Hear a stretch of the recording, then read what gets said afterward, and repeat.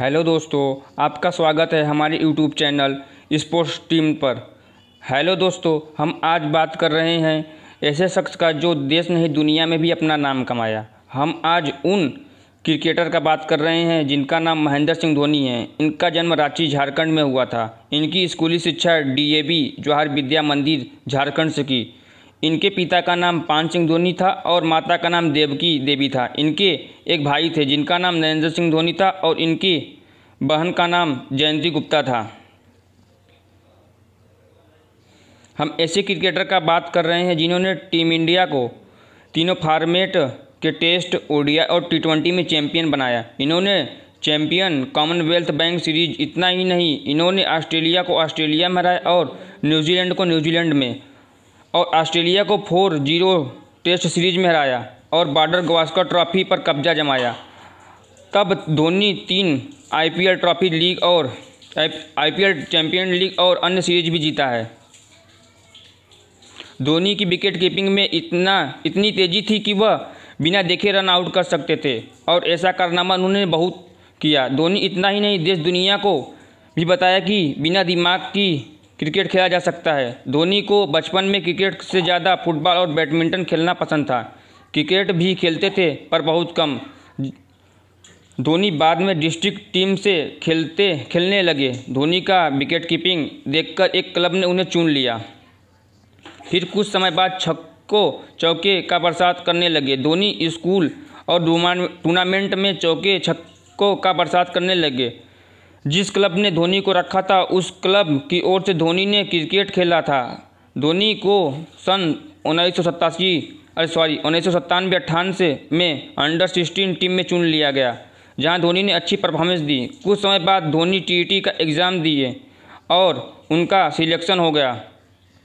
साल 2001 में south railway Kharagpur से धोनी ने अपना जॉब चालू कर दी। साल 2001 में धोनी ने सचिन तेंदुलकर से मिले। धोनी और सचिन की टीम आमने सामने थी। धोनी इस टीम के हिस्सा नहीं थे। धोनी ने अपनी टीम को पानी पिलाने गए और सचिन ने बोला, मुझे पानी मिलेगा? धोनी ने उन्हें पानी दे दिया। रेलवे के काम के साथ साथ रणजी में खेलते थे। उनका परफॉर्मेंस उतना अच्छा नहीं रहा। धोनी ने साल 2002-3 में इंडिया और पाकिस्तान के बीच अपनी गर्लफ्रेंड प्रियंका से मिले। साल 2004 में जब धोनी का सिलेक्शन हुआ, उसी दौरान प्रियंका का देहांत हो गया। एक्चुअली प्रियंका का देहांत एक रोड एक्सीडेंट में हुआ था, भाइयों। धोनी कुछ समय बाद क्रिकेट को ज़्यादा समझने लगे। धोनी का सिलेक्शन साल 2004 बांग्लादेश के खिलाफ मैच में हुआ था, जहाँ धोनी जहाँ धोनी की डेब्यू उतनी अच्छी नहीं रही। उस समय धोनी ज़ीरो रन पर रन आउट हो गए। उस सीरीज़ के दौरान धोनी का बल्ला नहीं चला और धोनी को कुछ समय बाद पाकिस्तान के खिलाफ मौका मिला, तब भारत के कप्तान सौरव गांगुली हुआ करते थे। गांगुली ने सोचा सोचा, धोनी को अच्छा मौका नहीं मिला, तब धोनी को दूसरे मैच में गांगुली ने नंबर तीन पर बेचा और धोनी आते ही तबाड़ तोड़ बैटिंग की। तब लगा कि इंडिया को बहुत अच्छा विकेट कीपर बल्लेबाज मिलने वाला है। धोनी ने उस मैच में 123 गेंद पर एक सौ अड़तालीस रन बनाए। धोनी के नाम पर 123 गेंद पर एक सौ अड़तालीस रन बनाने का रिकॉर्ड आज भी है।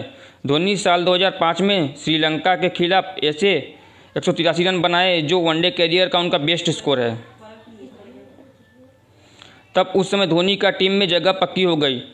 कुछ समय बाद कुछ समय बाद धोनी को 2007 में टी ट्वेंटी वर्ल्ड कप का कप्तान बना दिया गया। जब धोनी मैच खेलने गए, तब उस समय की team India sorry team Australia, South Africa, New Zealand, England, Sri Lanka को बहुत बुरी तरह से हराया। साउथ अफ्रीका में टी ट्वेंटी वर्ल्ड कप खेलने गए, धोनी की टीम बहुत अच्छी परफॉर्मेंस दी और साल 2007 में T twenty World Cup Dhoni अपनी कप्तानी में जीते और एक इतिहास बनाए। लास्ट फाइनल मैच पाकिस्तान के खिलाफ हुआ था, जो इंडिया ने बखूबी खेला और जीता भी। धोनी की अच्छी कप्तानी देखते हुए उनको फिर कुछ समय बाद वनडे टीम का कप्तान बना दिया गया, जहाँ धोनी ने साल 2011 में टीम इंडिया को अट्ठाईस साल बाद वर्ल्ड कप जीता, जीत दिलाए साल 2013 में चैंपियन ट्रॉफी इंग्लैंड के खिलाफ फाइनल में जीत के टीम इंडिया का नाम और ऊपर किया। जब भी धोनी के कप्तानी का ज़िक्र होगा, तब साल 2011 का वर्ल्ड कप का ज़रूर ज़िक्र होगा, भाइयों, क्योंकि 114 रन पर तीन विकेट गिरने के बाद युवराज सिंह तीसरे नंबर पाते थे, पर धोनी ने मना कर दिया और खुद बल्लेबाजी करने आ गए। धोनी ने उस मैच में अठहत्तर बॉल पर सत्तानवे रन बनाए थे और टीम इंडिया को 28 साल बाद वर्ल्ड कप जीत दिलाए। अब बताते हैं कि आपको दो, दोस्तों, धोनी और साक्षी के बारे में। धोनी के पिता और साक्षी के पिता एक ही कंपनी में काम करते थे और काफ़ी अच्छी दोस्ती थी। उन दोनों में धोनी और साक्षी एक साथ ही स्कूल में पढ़ते थे। पर संबंध उतनी अच्छी नहीं थी। उन सब में साक्षी की मुलाकात ताज होटल, कोलकाता से हुई थी। कुछ समय बाद धोनी ने साक्षी की दोस्त से उनका नंबर ले ली और धोनी ने उनको मैसेज की और साक्षी हैरान रह गई। साक्षी ने सोचा कि टीम इंडिया के कप्तान ने मुझे मैसेज किया, फिर साक्षी और धोनी की बात होने लगा और फिर एक दूसरे से प्यार करने लगे। फिर कुछ समय बाद धोनी ने साक्षी से तीन जुलाई 2010 को सगाई की और फिर कुछ समय बाद शादी भी कर ली। कुछ समय बाद 6 फरवरी 2014 सॉरी 2015 को साक्षी धोनी ने जीवा धोनी को जन्म दिया। तो उस समय एम एस धोनी नहीं थे। तब उस समय धोनी ऑस्ट्रेलिया में वर्ल्ड कप खेलने चल गए थे। धोनी का आखिरी मैच न्यूजीलैंड के खिलाफ विश्व कप सेमीफाइनल में था, जहाँ धोनी ने माटी गप्टी की गेंद पर रन आउट हो गए और टीम इंडिया का 2019 का वर्ल्ड कप जीतने का सपना टूट गया।